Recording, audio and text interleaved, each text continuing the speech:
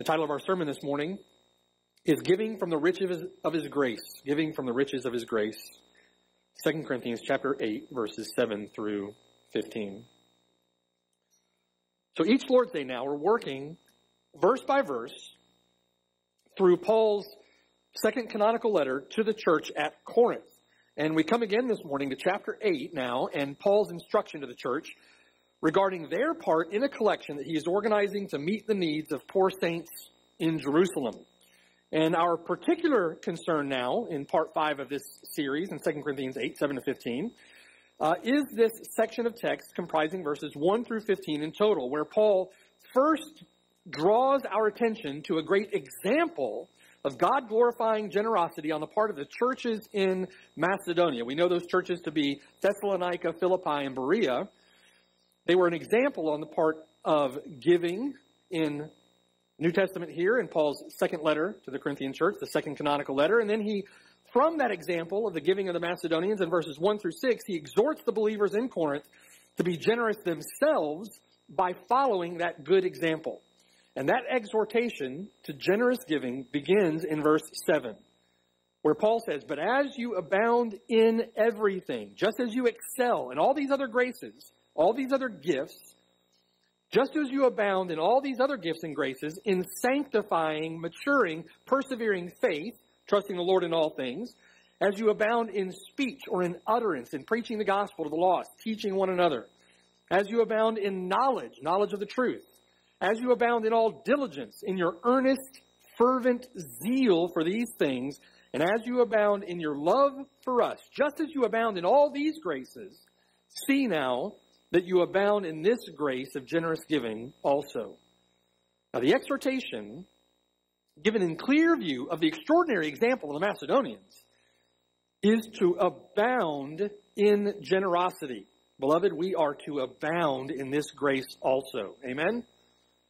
Paul's exhortation to abound in this grace of generosity is no trifling matter.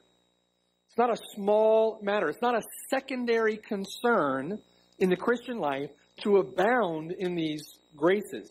Abounding in the grace of God should be of primary concern to every single Christian. Now, Peter adds to our understanding of this in 2 Peter chapter 1. Turn there with me. At 2 Peter chapter 1, we're beginning in verse 2. Peter adds to our understanding or adds to the weight Paul's instruction to abound in the grace of God, to abound particularly now in this grace of generosity, this grace of Christian giving. So in 2 Peter chapter 1, Peter says in verse 2, he says, Grace and peace be multiplied to you in the knowledge of God and of Jesus Christ our Lord. Now notice how the grace of the grace and peace, notice how it's multiplied or how it abounds to you and I in the text. It abounds in the knowledge of God and of Jesus our Lord. Now, that's the way it's going to abound. It's going to abound in the knowledge of Him. Now, notice verse 3 that this is because His divine power has given to us all things that pertain to life and godliness. And how does He do that? He does that through the knowledge of Him who called us by glory and virtue. It's by that glory and virtue, verse 4, which have been given to us exceedingly great and precious promises. So that through these promises you may be partakers or sharers of the divine nature, having escaped the corruption that is in the world through lust. Let's think about what Peter's saying there for a moment, okay? Sharing in the divine nature essentially means being holy as he is holy. You share in the divine nature. You are righteous as he is righteous, having escaped worldly corruption, the lust or the corruption that is in the world through lust. Having escaped that, now you partake in the divine nature, being holy as he is holy, being righteous in him. This is the gospel, amen? This is the gospel. We are made righteous in the Lord Jesus Christ. By the glory and virtue of the Lord Jesus Christ, God calls us in the gospel and pours out His grace, giving us all that we need. We have all that we need by the grace of God. Forgiveness of sins, the righteousness of Christ, a satisfactory, substitutionary sacrifice, right? Resurrection from the dead, His Spirit to indwell and empower us. All things that pertain to life and godliness. And through the glory and virtue of the Lord Jesus Christ, God gives us exceedingly great and precious promises. The promise of eternal life, right? The promise of living with the Lord Jesus Christ forever in eternity with Him, communion with a holy God, being with Him forever. The promise of a glorified body, freedom from sin, never to die again, right? An eternal weight of glory, 2 Corinthians chapter 4. All of that so that through faith in the Lord for these promises, we might become partakers of the divine nature. It's an amazing gift. Amen?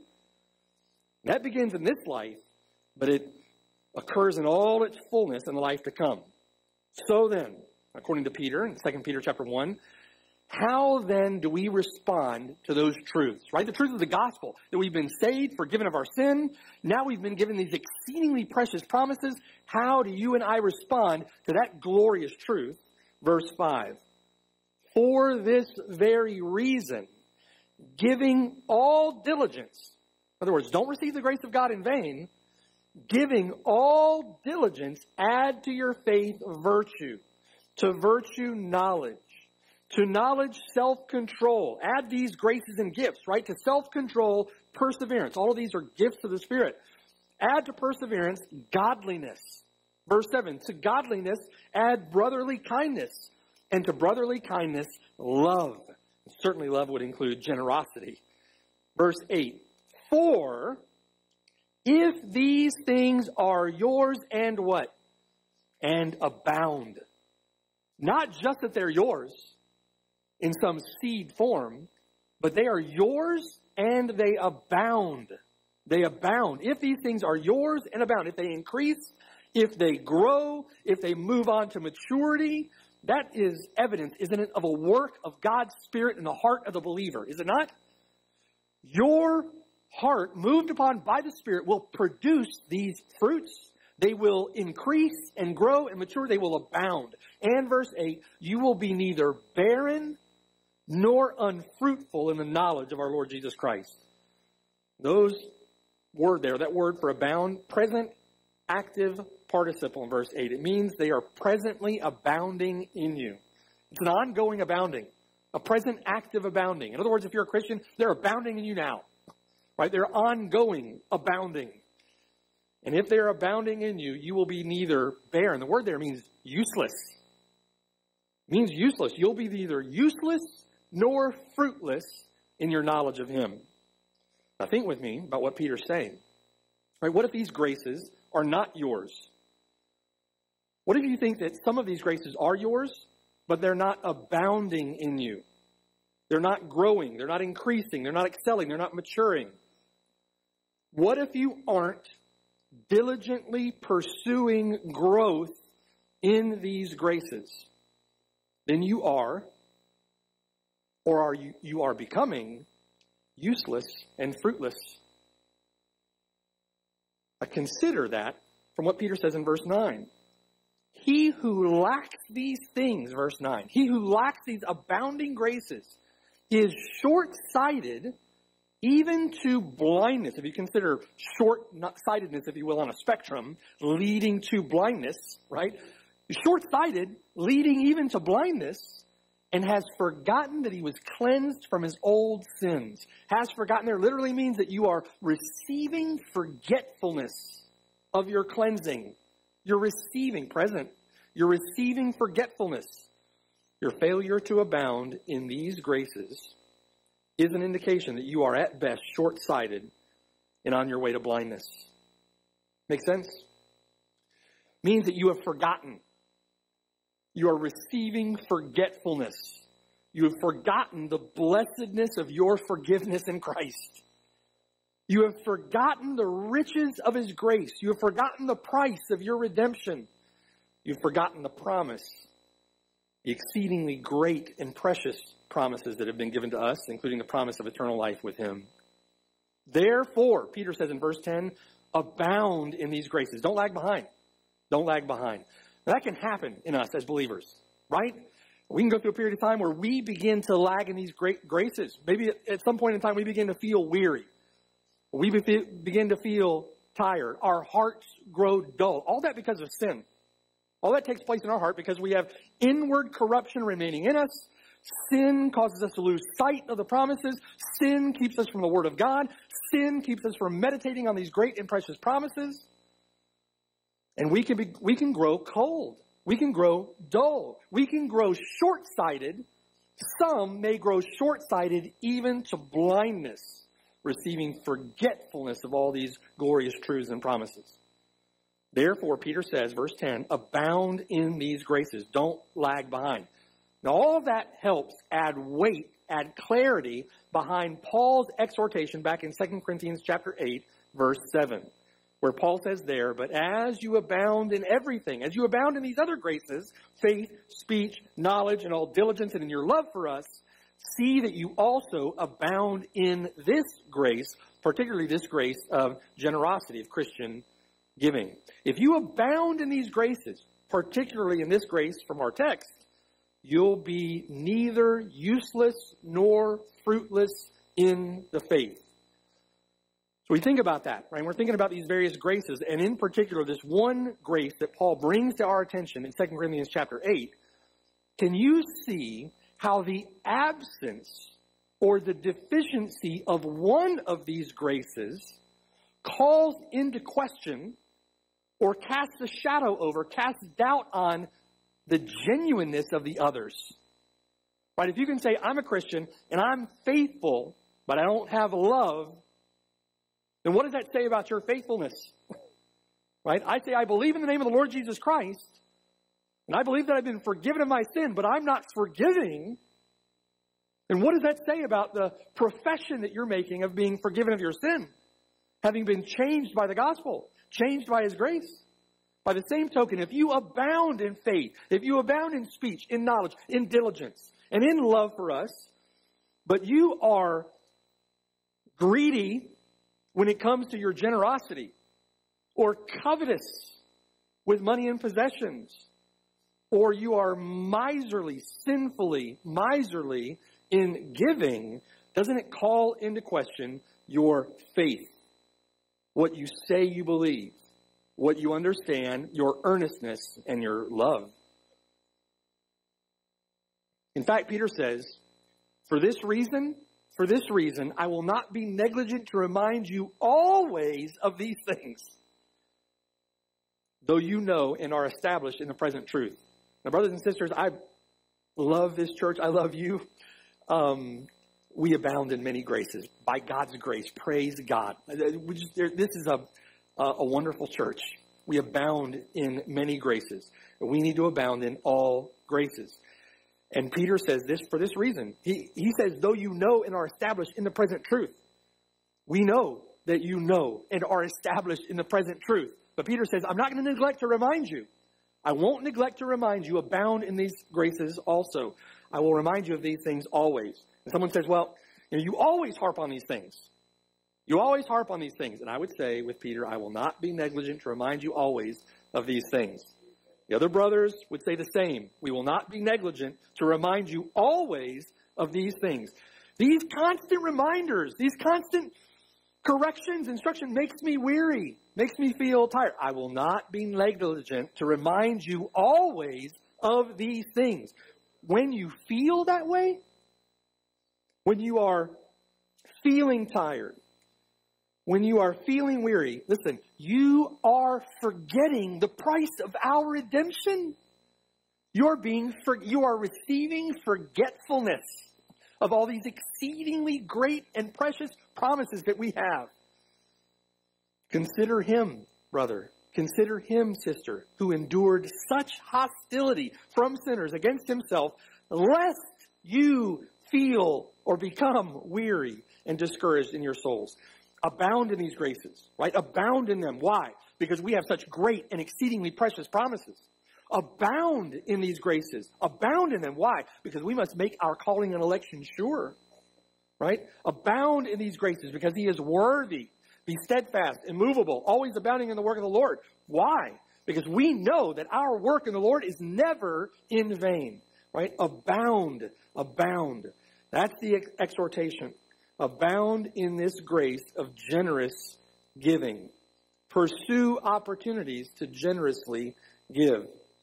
So, when you hear of a brother in the church who has a need, you hear of a brother, a sister, a family, a pastor in Haiti who has a need.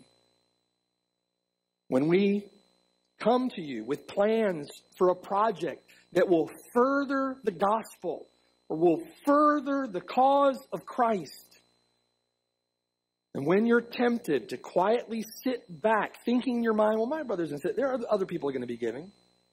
When you're tempted to sit back and rattle off a list of all the other ways in which you serve the Lord. Look at all the other things I do around there. I'm giving my time all the time. Right? When you're tempted to say, I'm faithful in this, I'm diligent in that, and I give in all these other ways, remember the example of the Macedonians who begged, implored with much urgency for the fellowship of the ministering to the saints. Remember the Macedonians. Remember the words of Paul. See that you abound in this grace also. In this grace also. Now, Paul is quick to say what he's asking for here is not a command. It's not a command, it's an appeal. And it's an appeal to love. Look at verse 8. Paul says, I speak not by commandment, but I am testing the sincerity of your love by the diligence of others. And we looked at this some last week in the example of Paul's appeal to Philemon for Onesimus. Right? We saw that generous giving is a fruit. It's an expression, it's an evidence of love. So now verse 8 then moves us from exhortation in verse 7 to now evaluation in verses 8 and 9. We have the exhortation, abound in this grace also, and now he brings us to evaluation, to assessment, if you will, in verses 8 and 9. How am I to evaluate or assess the level of my generosity? How generous am I? what would it look like to abound in this grace? What does it look like? I've got to provide for my family. I've Got to pay my bills, right? It would be wise and prudent for me to save a little for future needs. And so what does it look like? What would it look like for me to abound in generosity? What would it look like for me to give like the Macedonians? My love is being tested, Paul says in verse 8. How do I know that I passed the test? How much should I be giving? Now, Paul wants us to wrestle. He doesn't give us a command doesn't give us a specific amount. He wants us to wrestle with these things from the heart, wants us to be thoughtful. The Lord wants us to be considerate, compassionate.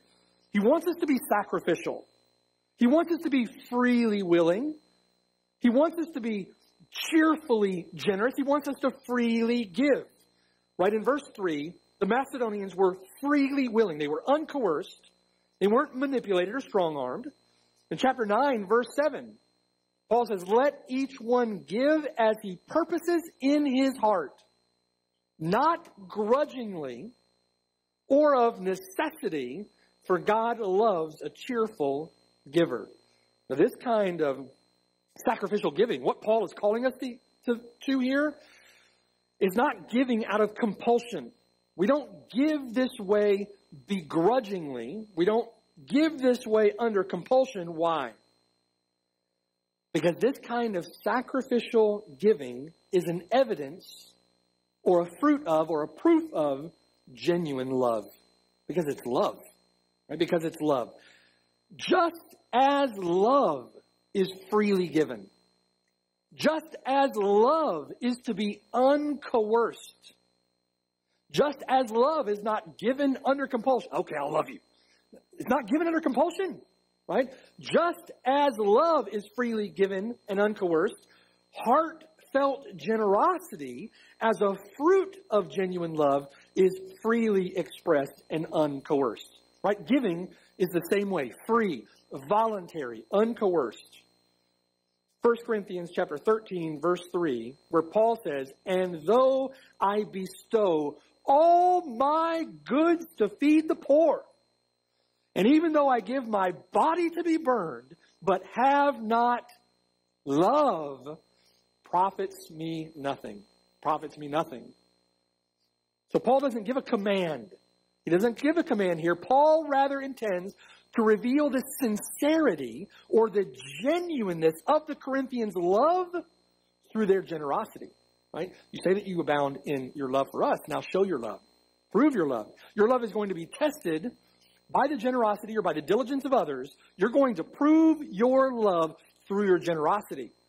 We say this is a loving church. This will be a generous church. You say you're a loving person, a loving Christian. You'll be a generous person, a generous Christian, right?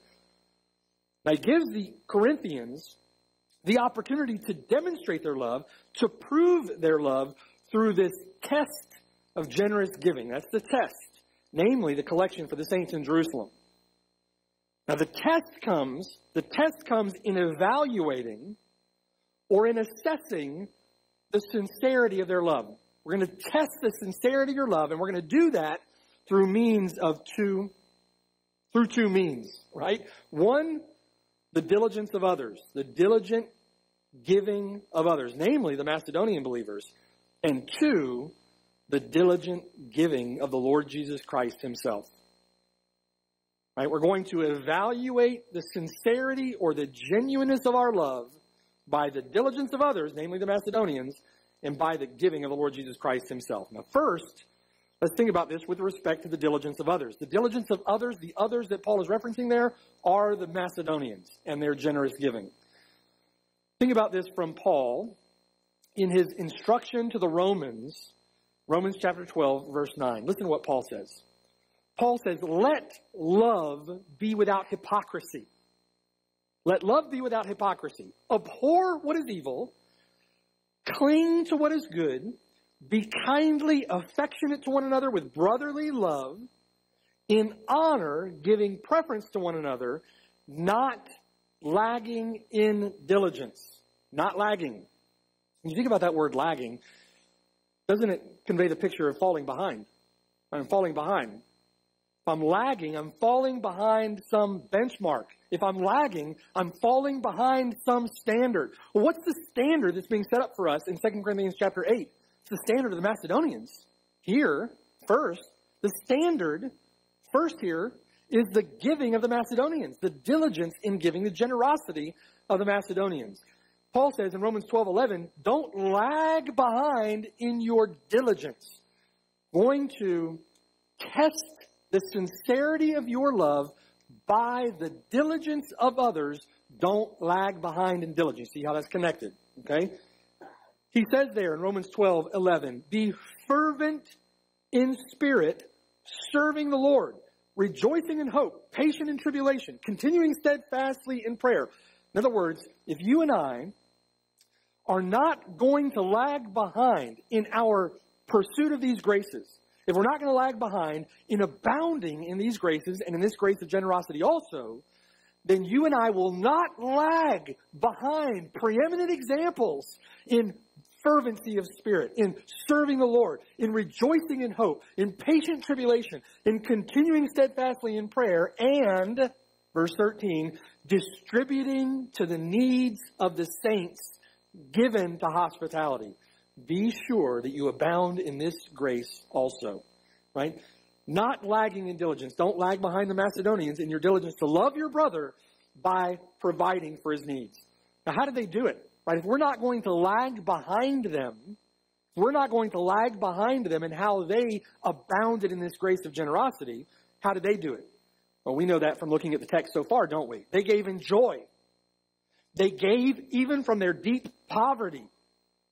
They gave according to their ability, and they gave beyond their ability. Now, don't let just pass by you, like just waft by you, like some uh, ethereal, you know, cloud this is practical. This is real, right? When we consider how we give, we want to abound in these graces, not lagging behind the diligence of the Macedonians. We need to give in joy. We need to give even from our poverty And if we give even from our poverty, how much more so should we give from our affluence? Right? How much more should we give from our affluence? They gave according to their ability and even beyond their ability. They were freely willing in their generosity. They were known, marked, commended by their wealth of generosity, just how generous they were. They implored, they begged with much urgency to participate in giving. When there's a need, jump both feet, right? Beg for the opportunity of fellowship and the ministering together with the saints. They saw it as a fellowship. They first gave of themselves to the Lord, and then they gave their money. The last point, that last point, so important in expressing the heart of generous giving, genuine, heartfelt generosity. When we say, essentially, Lord, I give all that I am to you. I give all that I am to you. My time is yours. All my days are yours. My desires are yours. All my hopes and dreams I bring gladly as an offering. Don't we sing that? Certainly, I give all that I possess. Their generosity was a proof of their love, a proof of their love for others, those to whom they're giving, but also a proof of their love for the Lord. Let us not be found lagging in this diligence. Let us not be found lagging. But secondly, as Paul thought about the genuine love that is displayed and proven, expressed in sacrificial giving, Paul's heart and mind are drawn to a consideration of the giving or grace of Christ in the incarnation. Right? Inexorably, Paul's heart and mind drawn to the giving of the Lord Jesus Christ. Verse 9. For you know you know the grace of our Lord Jesus Christ, that though he was rich, yet for your sakes he became poor, that you, through his poverty, might become rich. We are to consider, we are to evaluate or assess our loving generosity. Think about the weight of this with me, right? We are to evaluate or assess our loving generosity in light of the perfect and infinite love displayed in the matchless and incomparable giving of Jesus Christ in the gospel. Can't get weightier than that. Now, that little word in verse 9, the little word for, beginning of verse 9, might be better translated because. Now, now follow Paul's train of thought with me thinking of it that way in verse 9. Dear Corinthians, dear Corinthians, I'm not going to command you to give this collection for the saints in Jerusalem. I'm simply going to appeal to the sincerity or the genuineness of your love. Why? Because you know the grace of our Lord Jesus Christ and all that he gave for you. I'm not going to command you. I'm going to appeal to you for the sake of love. Why? Because you know. You know what Jesus Christ did for you. I don't have to command. Paul is essentially saying, You know the grace of our Lord Jesus Christ and all that he gave for you. Now, this giving, glorious giving, is described in verse 9 as the grace of our Lord Jesus Christ, summed up in that term, grace. Grace is the unmerited favor of God. That's what we learn from our catechism questions, isn't it? The unmerited favor of God. In other words, grace is not something that we deserve It's not something, grace is not something that we deserve. Now, an example of grace, or this undeserved favor, is found in Paul's letter to the Romans. Turn with me to Romans chapter 3. Romans chapter 3. And let, let's look together at the grace of our Lord Jesus Christ. The giving, the matchless gift of the Lord Jesus Christ is summarized in this term grace. Romans chapter 3. Look with me at verse 10. The law of God, the law of God has confined every person under a judgment of condemnation. The law has done that. Every person is confined under a judgment of condemnation by the law. Verse 10 As it is written, there is none righteous, no, not one. There is none who understands. There is none who seeks after God. They have all turned aside. They have together become unprofitable. There is none who does good, no, not one. I think I'm a pretty good person. No, you're not. Right? There is none who does good. By God's diagnosis here, right? By God's, from God's perspective, there is none righteous. Look down at verse 19. Verse 19. Now we know that whatever the law says, it says to those who are under the law, so that your mouth may be stopped. That all the world may become guilty before God. Therefore, by the deeds of the law, by works, no flesh will be justified in his sight, for by the law is the knowledge of sin. God has appointed a day He's appointed a day on which he will judge the world in righteousness by the man whom he's appointed or the man whom he's ordained. And he's given assurance of this to all by raising that man from the dead. That man is the Lord Jesus Christ. When you stand before the judgment seat of the Lord Jesus Christ, you will be judged according to a perfect standard of righteousness. You'll be judged by a perfect law, by a perfect lawgiver, you'll be judged by a perfect standard. A perfectly fair, a perfectly just judgment will be rendered. God has a perfect and holy standard.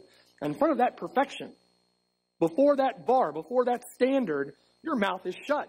There is no defense for what you have done. You have rebelled. You have sinned against God, and you've done so repeatedly and without remorse. There is no defense for what, you're, what you've done. You can offer nothing in your defense. Your mouth is stopped. Now that should cause fear in the heart of every sinner. Fear.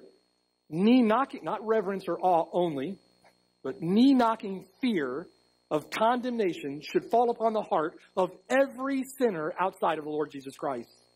The verdict is guilty, and the sentence is eternal damnation, eternal death in the lake which burns with fire and brimstone. However, for those who turn from their sin and entrust themselves, heart, soul, mind, and strength, to Christ by faith, those have hope. Look at verse 21.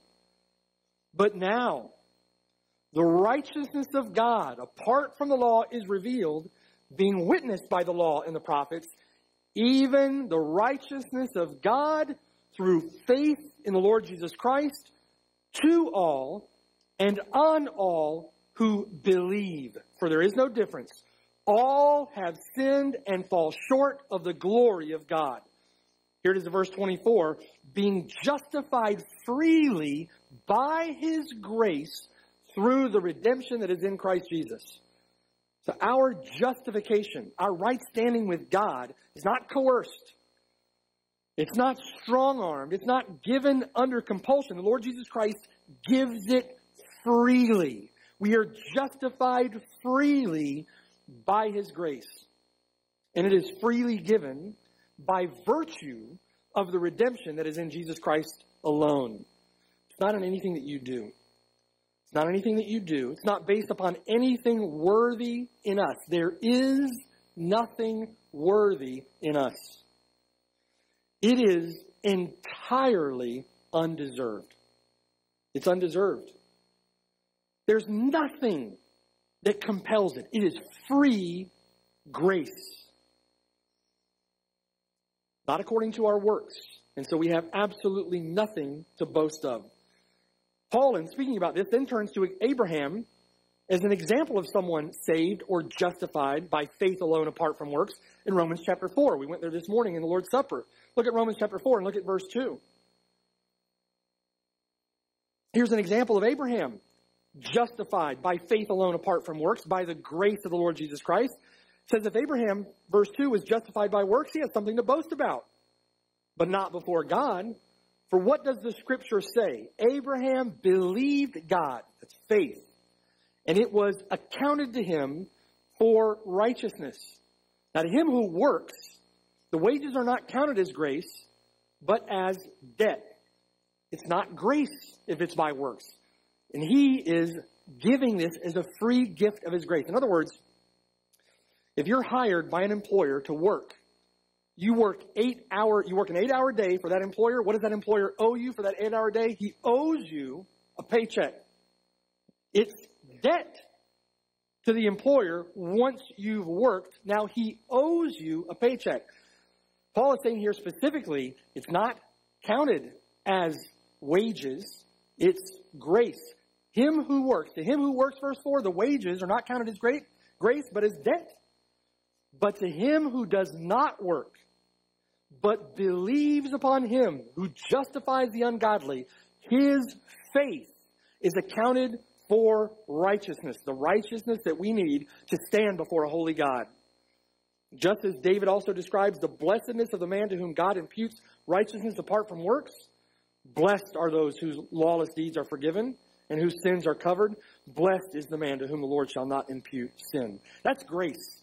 Right? That's grace. The grace of the Lord Jesus Christ given in the gospel. You see, then, it's not our works that justify us. It's not our works that justify us. It is the work of Christ alone that can do that. He alone has satisfied the demands of God's perfect justice. It's His merit, not our own. His merit alone that is worthy of God's favor. Therefore, we cling to Christ. Right? We cling to Christ because He is our righteousness by faith. We cling to Him by faith because Christ alone is our righteousness. He alone has the merit that we need. And He freely, lovingly, sacrificially, voluntarily gives it. And that's grace. Amen. And we lay hold of that, that gift through faith. And faith in and of itself is a gift. Faith is given to us as a gift. When we lay hold of that gift through faith, everything changes. Everything changes. The result is gratitude, thankfulness for what the Lord has done for us. The result is joy, from mourning over sin to joy. If you've never mourned over your sin, you don't know that joy. When you've truly mourned with godly sorrow over your sin, and the Lord has granted you forgiveness of sins, you know that joy in Christ. And it results in love. More closely connected to our text, it results in generosity because of what Christ gave by grace. Back in 2 Corinthians 8. From verse 9, then, we should consider this grace of our Lord Jesus Christ really in two ways in terms of its extent and in terms of its intent. We should consider the grace of the Lord Jesus Christ in terms of its extent and in terms of its intent. Verse 9. You know the grace of our Lord Jesus Christ. You know, right? You know the grace of our Lord Jesus Christ. Consider its extent that though he was rich, yet for your sakes he became poor. The extent of his grace. We see the grace of our Lord Jesus Christ magnified in its extent, right? The extent of what he gave, the fullness of what he gave, when compared with or in light of the extent of our need. You could almost say from the highest heights to the lowest depths. And that extent of His grace magnifies the generous giving of the Lord Jesus Christ, right? How much did He give? He gave from here to here. He saves them to the uttermost, loves them to the very end, the uttermost. The extent of His grace, the extent of our need, and then the extent of its effect what His grace accomplishes, the sufficiency and the efficacy of that provision of grace. And all of that magnifies the grace of the Lord Jesus Christ and should inform our understanding of what it means to give. Okay? One commentator told the story of a Persian monarch, a Shah, who reigned in exorbitant splendor riches, opulence, right? Living in the wealth of his royal palace. And yet, as this commentator said, his concern for the common people frequently drove him to dress as a poor man to leave the palace and to mingle with the lowliest of his subjects. He loved. He was concerned. So one day, as he donned his tattered rags, took off the robes and diadems of his royalty, he went out into the city and he visited a fireman. It wasn't a fireman who put out fires. This fireman's job was to heat water in the bathhouse, in the basement of the bathhouse. So dressed in tattered clothes, the Shah descended a long flight of steps down into the tiny cellar where the fireman sat on a pile of ashes, tending the fire. The ruler, this monarch, this prince, sat beside him, and the two men began to talk. At lunchtime, the fireman shared his humble meal of coarse bread and water with his guests.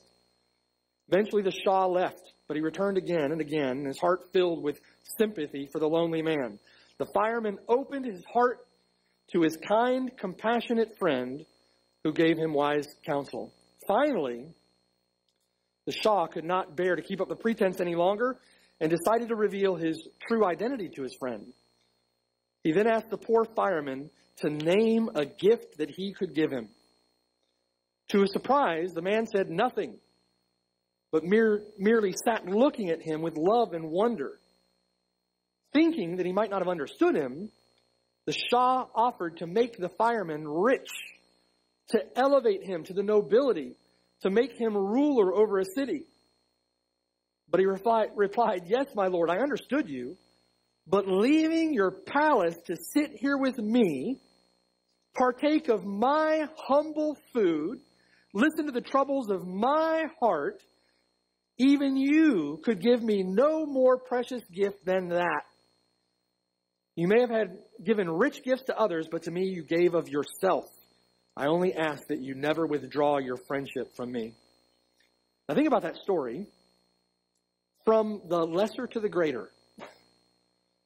In only a very small, you could even say infinitely small way, this story illustrates the grace of the Lord Jesus Christ giving of himself in the incarnation. Lesser to the greater, with in a, a massive chasm between the two, this illustrates the grace of the Lord Jesus Christ. How much greater is the magnitude of Christ's gift to us? And Paul says to the Corinthians, You know it. You know it. Though he was rich, yet for your sakes he became poor. Now, Paul uses these terms, rich and poor, in a spiritual sense, right? In a spiritual sense. We're not speaking specifically or only or merely about money, possessions at this point. Paul uses a present participle there for rich, literally being rich. Though he was rich, though he was being wealthy. In a present, ongoing way, he became poor. Now think with me for a minute. His poverty had a beginning. His wealth had none. He was being wealthy, he became poor, right? His poverty had a beginning. That was the incarnation. He was rich from all eternity, counting equality with God not a thing to be grasped. Rich, he was spiritually rich as being co-equal and co-eternal with the Father. Fullness of deity, having all divine attributes and all divine prerogatives, having immortality, dwelling in unapproachable light, eternally glorious, to whom be honor and everlasting power. Amen. That's the Lord Jesus Christ. Colossians chapter 1 verse 16. For by him all things were created that are in heaven, that are on the earth, visible and invisible, whether thrones or dominions or principalities or powers, all things were created through him and for him. Isaiah spoke of him. In Isaiah chapter 6, in the year that King Uzziah died, I saw the Lord sitting on a throne. We know from John chapter 12 that this is the Lord Jesus Christ. I saw the Lord, Isaiah says, sitting on a throne, high and lifted up. The train of his robe filled the temple. And above it stood seraphim. Each one had six wings. With two he covered his face. With two he covered his feet. With two he flew. And one cried to another and said, Holy, holy, holy is the Lord of hosts. The whole earth is full of his glory. It is this one, this one that impoverished himself for undeserving sinners. That's grace. That's grace. This one, eternally existing in equality with God, reigning in majesty, receiving the worship and praise of heaven. This one impoverished himself. We're merely touching the surface of all that he gave to come in the flesh for sinners. And not only humbling himself in this way, right, but he, having made himself of no reputation, having taken the form of a slave, coming in the appearance, in appearance as a man, he humbled himself, became obedient to the point of death, even the death of the cross. In other words, his grace is magnified in its extent, isn't it? In its, in its extent, the extent of what he gave, the extent of what he sacrificed, all that he had, all that he is, to redeem you and I. That doesn't mean that he ever gave up being God. Doesn't mean that he ceased to be who he is. No, but he became poor by becoming man, right? He became poor. His poverty had a starting point. And he sacrificed all of that wealth, those riches, to become poor. So much that can be said here about that, that volumes over centuries have been written. And if the Lord tarries, volumes will continue to be written.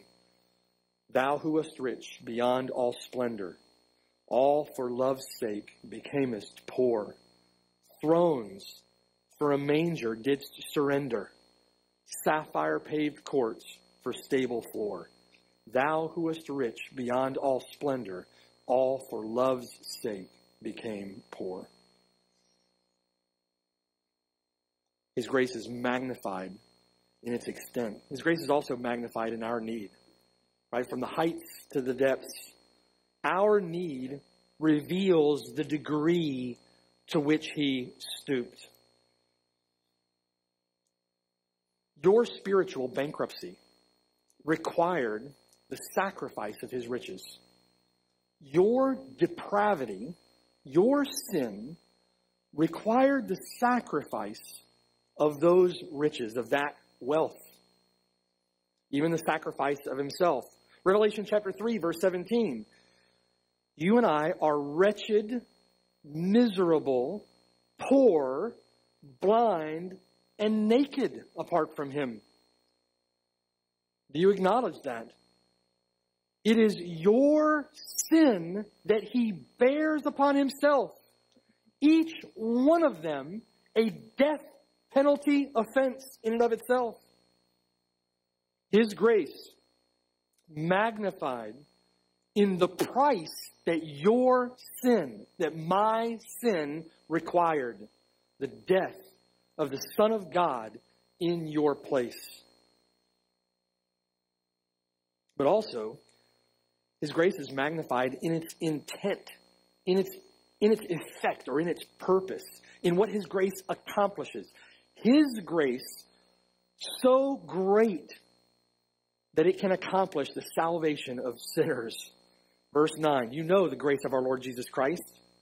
That, considering the extent, though he was rich, yet for your sakes he became poor, so that you, through his poverty, might become rich.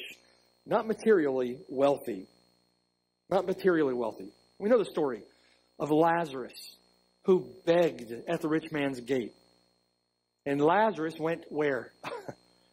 to heaven, Abraham's bosom. This is spiritual riches. What have we been given? I want you to think with me as I read Ephesians chapter 1, beginning at verse 3. Think with me about the efficacy of His grace, what His grace accomplishes, the sufficiency of His grace, the magnitude of His grace. Ephesians chapter 1, verse 3. Blessed be the God and Father of our Lord Jesus Christ, who has blessed us with every spiritual blessing in the heavenly places in Christ. that's not hyperbole. He doesn't say with most of the spiritual blessings that we can find in the heavenly places with Christ. He doesn't bless us with some of the spiritual blessing, blessings in the heavenly places with Christ, with every spiritual blessing. He has freely given us all things in Him, having not spared His only begotten Son. Verse 4 Just as He chose us in Him before the foundation of the world, that we should be holy and without blame before Him in love. This giving is from His love, it's an expression of His love having predestined us to adoption as sons by Jesus Christ to himself. We are adopted as sons and daughters in the household of God. What an amazing gift. According to the good pleasure of his will, verse 6, to the praise of the glory of his grace, by which he made us accepted in the beloved. These are riches indeed. Amen. Verse 7. In him we have redemption through his blood the forgiveness of sins according to the riches of his grace, which he made to abound toward us in all wisdom and prudence, having made known to us the mystery of his will according to his good pleasure, which he purposed in himself. Amazing riches. You can lay hold of those spiritual riches this morning, right now by laying hold of Jesus Christ through faith. You can have the, that wealth. You can have all of those spiritual blessings in the heavenly places with Him by turning from your sin and laying hold of Him by faith. I believe that my righteousness is with Him and I need no other. He is my righteousness. He is my salvation. He has become my justification, my redemption. Do you not know this morning that you are wretched, miserable, poor, blind, and naked?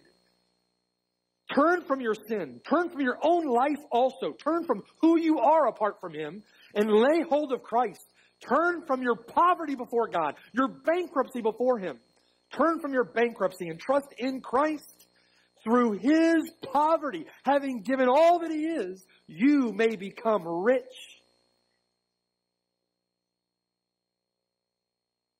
Horatius Bonar said this about his grace. Consider the extent of this grace. It is boundless. Like the heart of which it is the gracious outflowing, like that heart, it is altogether infinite. No amount of sin can impede its course or arrest its resistless flow transgressions of scarlet and crimson dye in a moment disappear before it and become like snow or wool. Mountains of iniquity are leveled at its touch as the small dust of the balance. An ocean of guilt evaporates as a drop before its glowing warmth and becomes as if it had never been. No number, no extent, no enormity of abominations can withstand grace so free, so abundant, so omnipotent. Where is the sinner on this side of hell that is beyond its reach? What mountains of sin can it not level? What valleys of iniquity can it not exalt till the highway between the sinner and God is made straight and plain? So that none need mistake it or stumble upon it or imagine for a moment that it's not for him. That's grace. That's the generosity, the giving of our Lord Jesus Christ. We're, can, we're to consider that in our giving. What's the result of that for one who is trusted in Christ for these things? What's the result? Gratitude, gratefulness, joy joy inexpressible when you consider what Jesus Christ has done. What is mine by faith? It's joy, gratefulness. Thank you, Lord. Gratitude, joy, love. Don't you, knowing what the Lord Jesus Christ has done, love Him? Love Him. An inexplicable love and it results in generosity in giving. In giving. We've been given so much in Him. Amen? As we consider our own giving, then, in light of this, Paul essentially says, 2 Corinthians 8, think about the example of the Macedonians. I'm going to appeal to you in love to give as they did. Why? Why? Because you know. You know what you've been given. I don't have to command you. You know. You know, and so now give. And give generously. Give like the Macedonians, give like the Lord Jesus Christ. Freely, willingly, voluntarily, as an expression of love. And Paul says, I'm revealing. Where Paul is showing our love to be dokimos approved. Approved through testing. What's the test? Our giving. Prove the sincerity of your love through your generosity. That's Paul's exhortation. Let's pray. All praise, honor, and glory to the one who became poor so that through his poverty we might become rich. Amen. Let's consider our text. Let's consider the exhortation. Consider what Christ has done for us, let's consider what we will do in response. When you're done praying, you are dismissed. Let's pray.